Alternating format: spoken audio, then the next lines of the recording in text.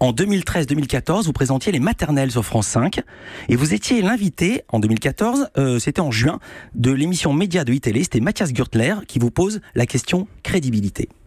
Vous êtes une maman, j'ai le sentiment c'est important ça pour présenter les maternelles, d'être maman et de connaître aussi son sujet. Euh, c'est primordial, oui, c'est obligatoire. Par exemple, moi je pourrais pas présenter une émission sur la pâtisserie parce que je, je, vraiment ça m'intéresse pas du tout, j'y connais rien, euh, je, je, me, nourris mal, enfin je, je serais absolument pas crédible.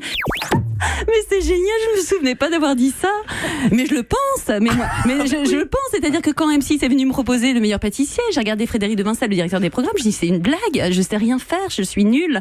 Et, en fait, il me dit mais c'est génial parce qu'on a des spécialistes de partout sur cette émission, Cyril Lignac, Mercotte, les candidats. Et en fait, je me dis mais heureusement, peut-être que c'est un atout en télévision de ne savoir rien faire, et notamment en cuisine, parce que je suis peut-être en train d'inventer le futur de la télévision, c'est-à-dire l'incompétence érigée au, rang, au rang d'art. Et quelque part, je vais vous dire, moi, ces candidats, ils me fascinent. Ces pâtissiers, ils me fascinent. Moi, je sais même pas faire un 4 quarts. Eh bien, euh, je ne pensais pas qu'on allait me proposer une émission sur la pâtisserie. Eh bien, maintenant, je ne pense pas que je suis illégitime, bien au contraire.